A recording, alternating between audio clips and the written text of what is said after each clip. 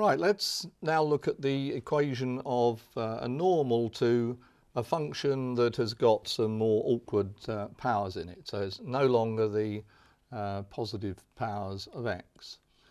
And first of all, then I need to take my equation and write it in a way that I can use the formula for differentiation. So I can write this as 2x to the minus 1 plus 3x to the minus 2. Now this time I want the equation of the normal to this graph. I still need to differentiate. So let's differentiate dy dx. Bring down the power. Minus 1 times 2 is minus 2. Take away 1 from negative 1 gives you negative 2.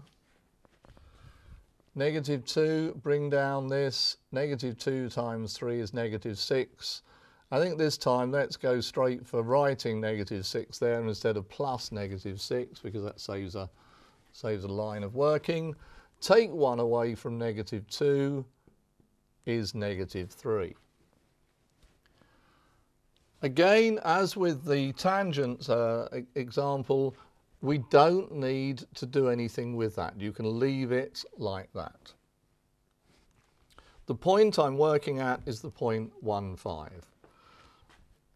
So let's call it m because now I'm finding the gradient at that point. Okay. x is 1.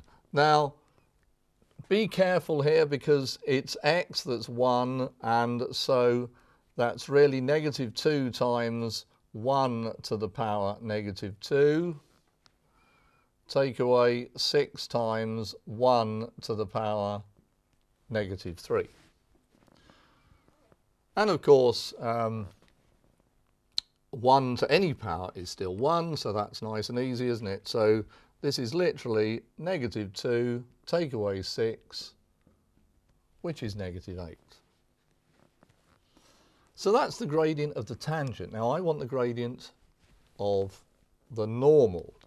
So I need my old friend m1, m2 equals negative 1. So m dash, remember I'm going to use m dash for normal as opposed to m for tangent. Now, just be careful here. Because this is an integer, I need the reciprocal of that integer, which is 1 over 8 and I have to change the sign. So remember you invert the fraction. Now this isn't really a fraction unless I remember that of course I can write it as negative 8 over 1. So if I invert that it becomes 1 over 8. If I change the sign it becomes plus 1 over 8.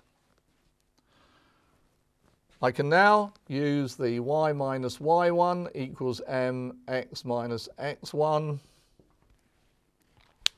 do this in different colour just to highlight the answer this time. So it's y take away 5 equals 1 over 8 x take away 1. We don't like the fraction there, so let's multiply this side by 8. So I get 8y take 40 equals, now there's a 1 still here, this doesn't become zero or anything like that. So it's really 1 times that bracket, which is x minus 1. Put the negative 40, we'll subtract, so we get plus 40 on the other side. And that will give us plus 40, take away this 1, is plus 39. So there we have the equation of the normal to this graph. Lots of places that you can go wrong here. Be very careful at each stage. Make sure that when you take away from a negative number, it gets more negative. Make sure when you substitute a value into a negative power that you put the bracket round that number. And be careful when the gradient is an integer and you want the perpendicular gradient to that as well. So several pro problems here that are they're quite difficult within this one question. Okay, so go away and try uh, some of these and, and I'm sure you'll do well with those.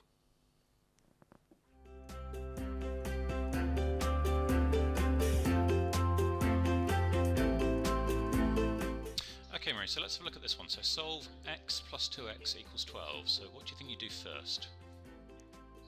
Okay, well, I want x on its own, so I would put x equals 12 minus 2x. Okay, so a lot of the time we want to get x by itself, but what we want to do first is get all of these x's together. So can you see anything we can do with this? Get all these together in one place. Oh, okay, it's 3x, isn't it? Yeah, so absolutely. 3x equals 12. Oh, and so x equals 4. Brilliant, spot on, well done.